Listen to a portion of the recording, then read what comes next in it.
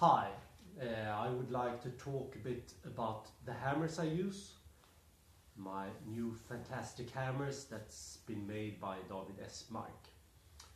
And uh, the hammers are based on uh, several different contemporary artworks from uh, medieval times and 16th century. And I also uh, try to think uh, which hammers I use um, when I've been making uh, armor earlier with more modern hammers, uh, which weights I like to work with and, and so on. So I made a design on the hammers and David uh, interpreted my design and also looking at the original hammers. Uh, to start with, we can take this hammer uh, which in the pictures of armor makers uh, is a quite common shape that you have two heads on the hammer. And on this uh, hammer I have a more rounded head here and on this side is a little bit flatter. And this one I use when I'm stretching out the material. Um, and uh, as you can see here this is made of very soft iron and there is uh, forge welded in heads of steel here. You can see here. And uh, now I started making uh, the helmet and then uh, when stretching out the material in uh, the beginning I use this one and this is uh, one and a half kilos with a shaft and it's quite heavy so you can uh, have a lot of force when you're stretching out the material. So uh, I, I've used this one first and if when I use this one it stretch a lot and I can really put in a lot of force when I'm using it. And then I can turn it on uh, around and uh, even the material out a bit with this flatter end.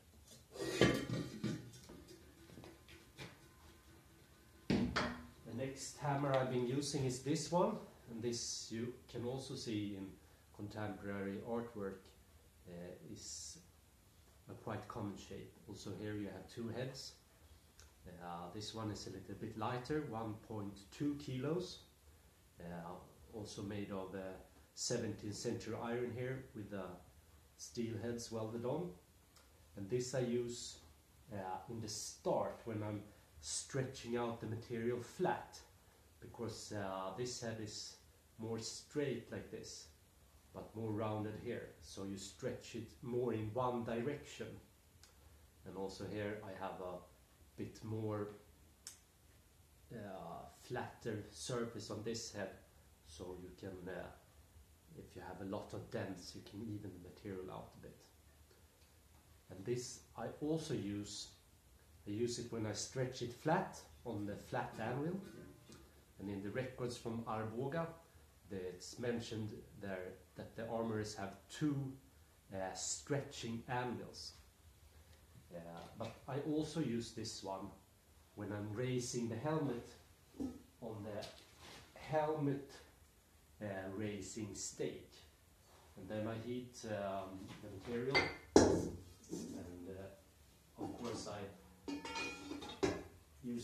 pliers and I push the material in with this hammer. Yeah. and also here it's quite handy to have this surface so you can straighten the dents out. Yeah, really lovely hammer good to work with.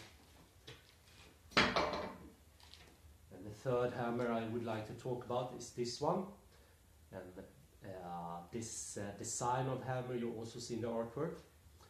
And uh, this one has a more uh, rounded face in all directions.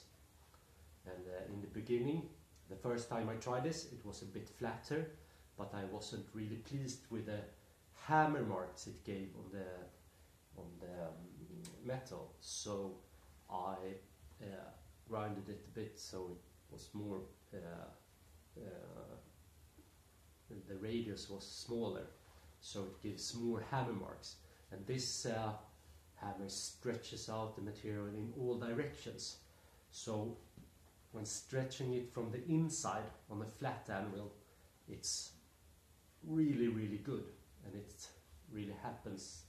Uh, much uh, material moves when you use this one, and it's also shaped like this because uh, when the helmet starts to get deep, you can come in over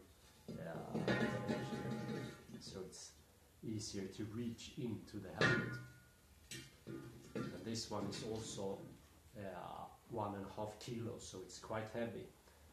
But you really need the, the mass in the hammer to to uh, have a lot of energy to really stretch out the material. Thank you.